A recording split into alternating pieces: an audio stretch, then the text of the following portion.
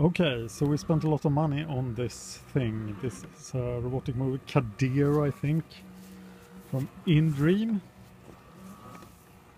And I just want to warn you guys about this product because uh, it's not very good. We have a lawn that is slightly, uh, yeah, it's it's not even. We, we're on top of a mountain, and uh, this is the thing, kind of things it does. Uh, we seldom have it moving for uh, more than 15 minutes before it gets stuck somewhere. Look at this, it can't take, um, it can't get out of this situation. Uh, there is a, a border wire here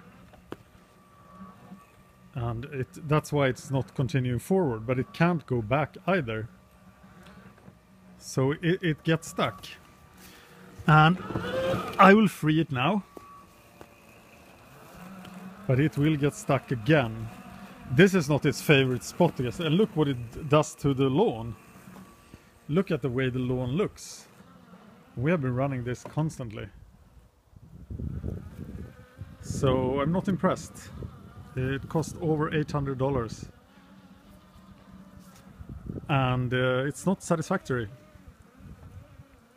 I would go as far as to say it is crap. So don't buy this. Unless your lawn is perfectly even and square. Okay, maybe I shouldn't have a, a big pot there, but it keeps the door closed. Okay, now it's starting to look good. But it will not move for more than 50 minutes before it gets stuck again.